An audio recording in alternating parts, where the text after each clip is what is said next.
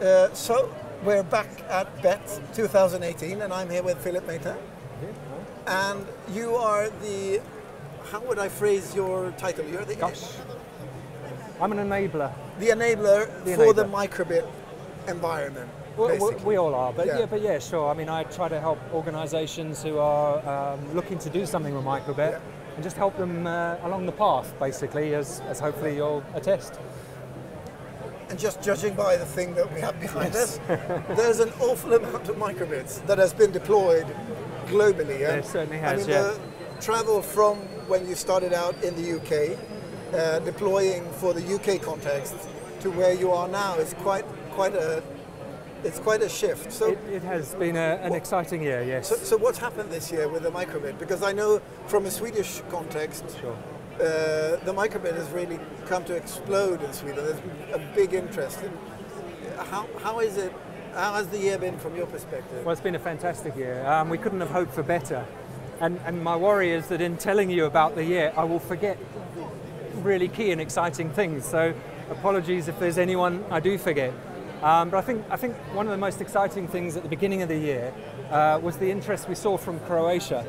Uh, now, Croatia is just one of many countries that has really adopted microbit. Um, They did a Kickstarter. they, that's what I wanted Yeah. to tell you about. Um, we, we knew we were sitting on something really exciting, um, but the response that we saw to the Kickstarter in Croatia just confirmed the kind of interest that would be there on the ground.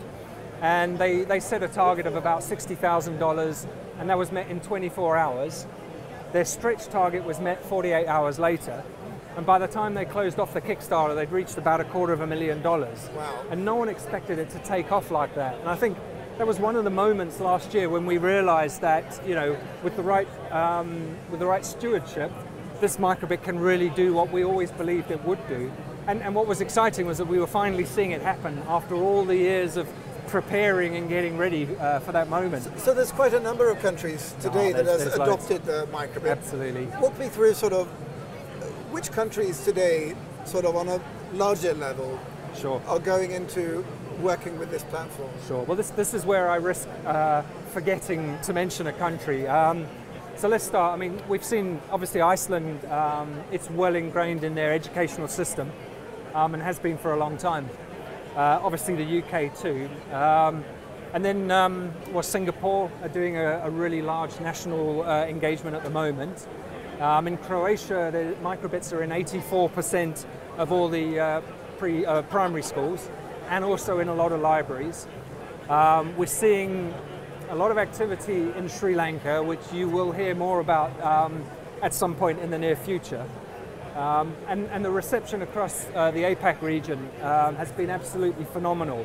So we're looking at some really big activity in Taiwan, uh, Hong Kong, China, um, but we're also seeing interest at an earlier level from all across the world. So keep your eyes on South America. There's going to be some really big activity this year. We expect Australia to take off. That's already very, very healthy. So what, what does it mean? I mean, now that you've become basically a deliverer of a global hardware for education, what does that mean for for for us who use the microbit? What, Well, it, it's good news all around because we we exist to uh, stimulate the ecosystem and to provide materials. And the stronger and healthier we are, the more materials we can produce, the more support we can give. I mean, last year there were six six of us working at the time of BETT. Um, we, we've now more than tripled in size, so our ability to get out there and help and produce things has gone off the scale as well. Um, now, bear in mind, we don't sell microbits. What we do is we make sure the environment, the ecosystem is strong. So the, the good news is that you know the more microbit grows, the more our ability to support it grows, and the more materials, the more support, the more editor support will be in place for people who have adopted microbit. So it's an it's an it's an ecosystem, and we all flourish by people getting involved with microbit. one thing that uh, has been a sort of important aspect, if I come from the Swedish perspective, is sort of the integration with the curricula and sort of getting a sense of ownership where Yeah. the platform becomes meaningful in the context of that Sure. particular ecosystem. So, are there differences in these different countries on sort of how you've gone about sort of uh, support? Very much so, and it's a really, really good question. Thank you. Um, I'd like to put an idea out there now, which which will come back to your question, and that is that what you think about the the the uh, the box, the pencil case that you had as a child, and that had a pencil and it had a ruler, it had a set square. Now, what a lot of people are starting to see, and in particular, we've seen this coming out of the APAC countries, is that why wouldn't that pencil case have a microprocessor in it? In other words, we, we are beginning to see a time when having a microbit, but, but more importantly, generically, having a microprocessor is just something that every child expects to have in their, in their pencil case. And just as an IT teacher might say, bring out your microbit, so the art teacher might say, bring out your, your microbit, or the maths teacher, or the, D- the D&T, the design and technology, or the sports science. You know, there is no reason why a microprocessor can't be used across all sorts of different subjects. But I guess you've seen quite a lot of different examples on that, depending because different countries have different curriculums and Yeah. there's different subject matters who sort of take it to them and adopt it and use it for, for different things. Well, there are two, fundamentally two approaches. And the one is the curriculum-based approach. Yeah. And that, of course, ensconces the microbit in a particular curriculum and teachers then are obliged to use it.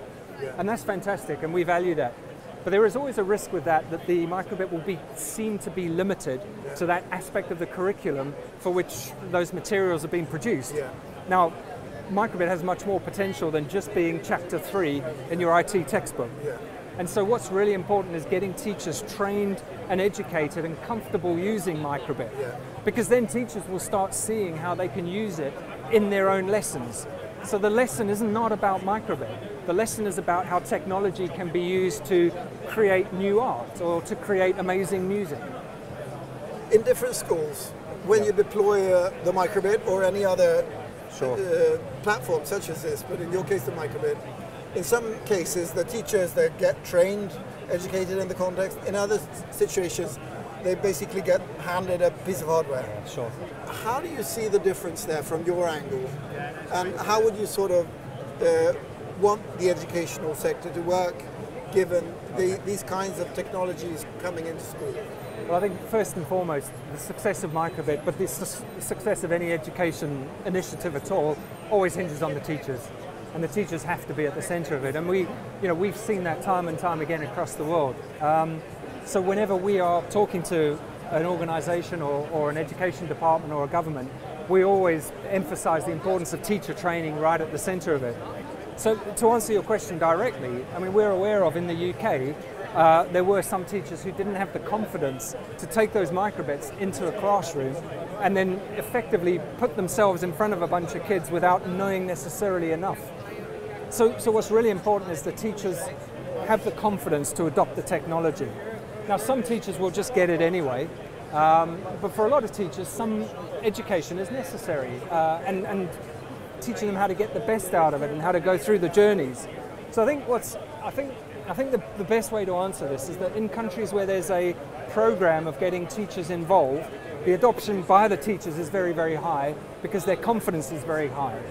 In areas where there isn't that level of um, teacher training provided, then, then we are seeing the engagement of the teachers at a slightly lower level. Um, so, it, you know, it, it's always important to get the teachers on board, get them supportive, get them behind the initiative, um, and, and of course, you know, provide some training and materials that they can use uh, in the process. Teachers are, are so key. They're, our target market is children, um, but, but it is the teachers that, that help, and, and educators who help us to reach those children, and making sure they're confident, well educated in, in microbit or in microprocessors, um, and aware of the fun factor. This is just really important to the whole success of, of everything we do. So, looking towards 2018, what are your sort of hopes for the microbit for the coming year? Well, we want to see it going from strength to strength, um, and that's what we're set up to do. Um, we've restructured now, so we have in, individuals focused on different geographical areas. We have uh, a team in South America, North America, Asia. We're looking at Australasia, and of course uh, Europe and the United Kingdom. And so, because we've had, we have more resources, we have more ability to focus in specifically. And so with that, we expect to see um, growth in areas where perhaps we haven't had time or resource to, to focus as much attention this year as we'd have liked. So really what we, what we had last year was an incredible demand and an incredible interest and a small team. This year we have incredible demand and interest and a larger team, so we hope to use that organically to grow the areas where people are already doing stuff and, and where there is an existing interest. Philip, great talking to you again. Thank you, Carl. Good to see you again. Thanks very much. Thank you. All right, cheers.